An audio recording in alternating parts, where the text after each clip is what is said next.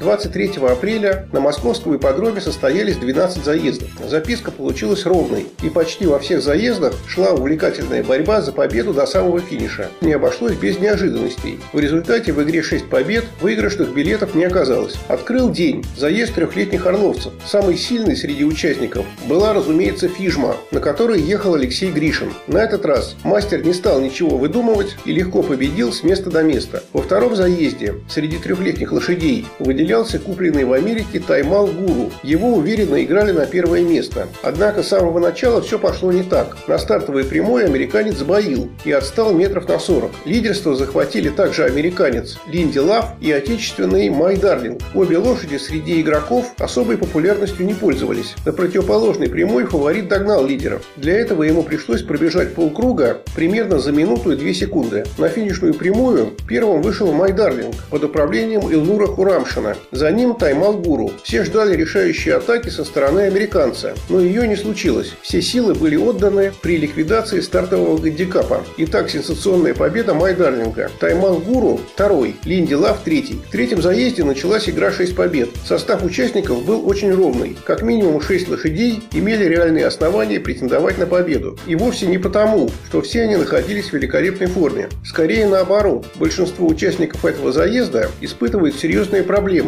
Многие вышли на старт после значительного перерыва. Фаворит кассы Канцлер уже в первой четверти перешел на неправильный ход. Вторая лошадь по игре Любор по дистанции вообще не проявляла никакой заинтересованности бороться за победу. Пекарь, игравшийся третьим, в первой половине дистанции заметен не был, но затем сделал бросок и вышел вперед. Казалось, все закончится очередной победой Ольги Исаевой, но на финишной прямой Пекарь сбился. Впереди оказался Алексей Гаськов на арте. Он и победил. 13.70 в Одинаре. На втором месте Кабул. Любор третий. На четвертом месте хорошо финишировал Брянск, сбросивший 9 секунд. Видимо, это далеко не предел для него. В четвертом заезде на старте потеряли одного из фаворитов – Геркулеса Лок. Что с ним произошло, неведомо. Но пропажу обнаружили сильно после заезда, когда уже были произведены выплаты по тотализатору. Потом долго и нудно объявляли, что возврат все-таки будет и какой именно. В итоге деньги вернули уже после окончания бегов. Короче, обычно после такого ЧП встает вопрос о соответствии руководителя тотализатора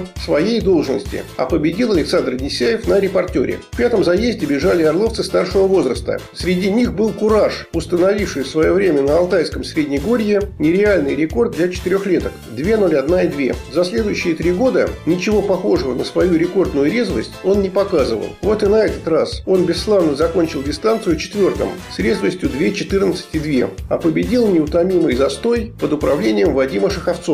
Посмотрев на состав участников шестого заезда, с большой вероятностью можно было утверждать, что здесь бежит будущий дербист. В самом деле, на победу претендовали победитель приза гибрида Айнека Че, зимний дербист Лефорт Син, а также обладатель приза Рангоута президент Лок. Я уже много раз высказывал мнение, что именно президент – главный фаворит дерби 2017. Заезд только подтвердил правомерность такого прогноза. У президента по дистанции не возникло вообще никаких проблем. Он победил легко и непринужденно. Пожелаем Раилю Габрашидову, чтобы и дальше у них с президентом все было столь же безоблачно. И чтобы главной проблемой для Раиля стало не запутаться в выборе между президентом и Провансом, который тоже выглядит очень перспективно. Итак, в это воскресенье президент финишировал первым, Лефорт Син второй, находящаяся в прекрасной форме Селена третья, а Инека Че на четвертом месте. Видимо, сказывается зимний отдых. В седьмом заезде для орловских четырехлеток фаворитом разыграли фламанца, у которого до этого было две победы к ряду. Уж не знаю почему, но публика совершенно позабыла о силе его соперниц, отличницы и парчи, которые неудачно пробежали две недели назад. Но класс их никуда не испарился. В итоге фламандец в правом повороте сделал проскачку. Парча под управлением Дениса Осипова оторвана победила, а вот отличница снова выступила неудачно, завершив дистанцию только третьей. На втором месте культ. В восьмом заезде бежали лошади старшего возраста. Без проблем победила Лариса Танишина на выступавшем под нулем From the. На втором месте французская Каданс Мажик. Девятый заезд завершился сенсационно. И дело даже не в том, кто победил. Главное, какая резвость при этом была показана. Бежали трехлетки. Очевидным фаворитом с рекордом 2.4.9